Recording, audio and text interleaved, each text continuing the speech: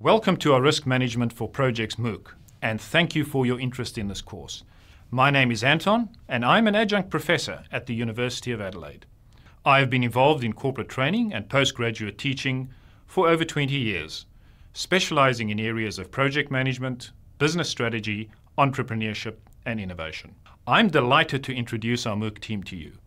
We have assembled the same team that delivered the Introduction to Project Management MOOC in 2016 where we had more than 160,000 student enrollments. Our team is experienced and ready to guide you on your learning journey over the next five weeks. Let me briefly introduce each member of our team. First up is John. John is also an adjunct professor at the University of Adelaide and teaches a range of project management courses at university and delivers corporate training courses. John is an experienced teacher and practitioner who has extensive experience in risk management and compliance in the public sector. Next is Stella.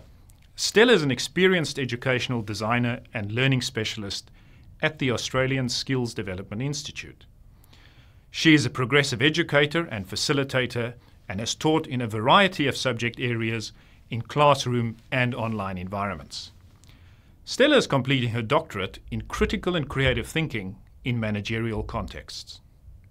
Frank is our final team member and academic leader. Frank is a professor of complex project management at the University of Adelaide and the Karlsruhe Institute of Technology in Germany. Frank collaborates with multinational organizations across a range of industries. His research interests include project management, supply chain management, and construction management. Once again, welcome to the Risk Management for Projects MOOC. We are looking forward to making your learning journey to risk management a rewarding one, and also looking forward to finding out more about you.